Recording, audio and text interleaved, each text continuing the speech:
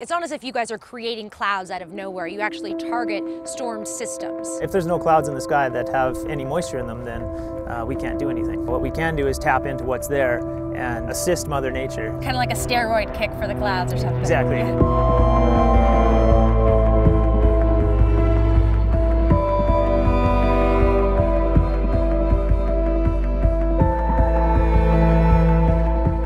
all of its forms, water powers our very existence. A droplet's epic journey from sky to sea is an elegant loop that sustains all life on this planet. But today, about a billion people are living in water scarce areas. In the United States, there's California, where in one single year a historic drought cost the state over 10,000 jobs and nearly $2 billion in lost revenue. The effects of climate change and the strain of an ever growing population have combined to disrupt global water supplies. But what if we could hack into the water cycle and unlock more precious water from the clouds? A decades old technology, long shunned by science, may hold the key. Since the 1946 experiments of Dr. Vincent Schaefer, we have known that some clouds can be modified through seeding to yield additional precipitation. What exactly is cloud seeding? Cloud seeding is really an enhancement of the natural precipitation process. So basically, you're just making the storm more efficient, getting more moisture out of it. Exactly it. To do that, pilots target clouds full of moisture and eject small amounts of an inert chemical. Then, the water in the cloud condenses around the new particles and gets heavy, falling to the ground as precipitation. Brian Kindred is one of the company's pilots. He steers right into the heart of storms to fire off a special kind of pyrotechnic. And what's inside of these guys? Uh, it's a silver iodide mixture. The idea is that we'll be above some liquid water, and as it's falling through, it'll turn it to snow so it can fall out of the cloud. Since the 1940s, people have been seeding clouds and watching the effects with their own eyes. But there's always been something missing the cold, hard scientific evidence to back it up. That changed recently. In 2017, the National Science Foundation funded a study to determine cloud seeding's effectiveness once and for all. Weather Modification International provided the planes. A team of scientists set out into the Idaho mountains with Doppler radars and state of the art weather stations to record what happens on the ground when planes above are cloud seeding.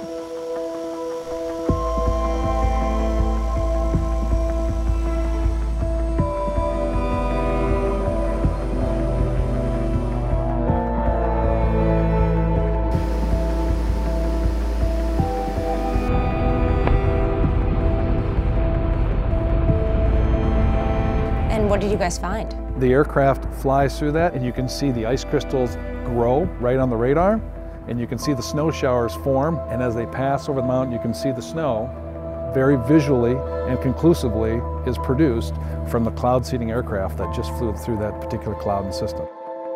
Radar images show how ice crystals formed in the clouds in the exact pattern that weather modifications pilots were flying. The long awaited scientific proof that cloud seeding was working had finally arrived. But there's still questions about its long term effects. How does making it rain in Idaho affect what happens a state over? Who owns the precious water in those clouds? And the effects of silver iodide on the environment are still debated. For now, national weather bodies have yet to endorse the practice of cloud seeding. I think that people get a little anxious when they hear about people sort of playing the weather god, which in a way you guys are kind of doing here. We're not really playing God. I think that's really overstating uh, what we're doing. Human activity affects the weather all of the time. We're being very specific and targeted and environmentally friendly in what we're doing to enhance the natural, natural precipitation, enhance the natural process.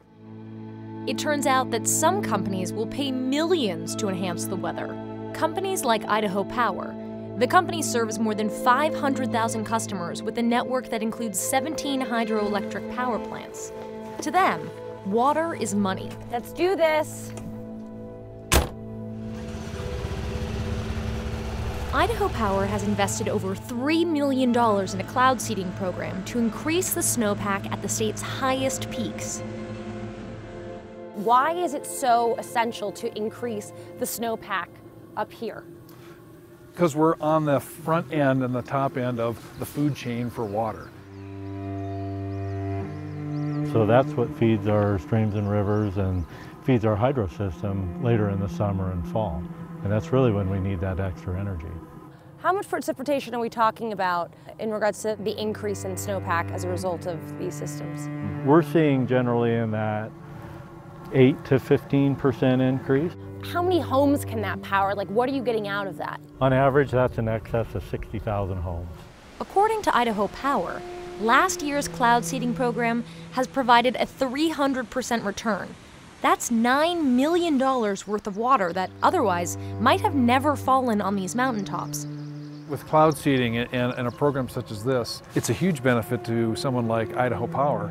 But that additional water is also there for the municipalities, it's there for agriculture, it's there for consumption, so everybody's benefiting. Do you see cloud seeding as a potential drought solution? What kind of impact do you think that cloud seeding can actually make?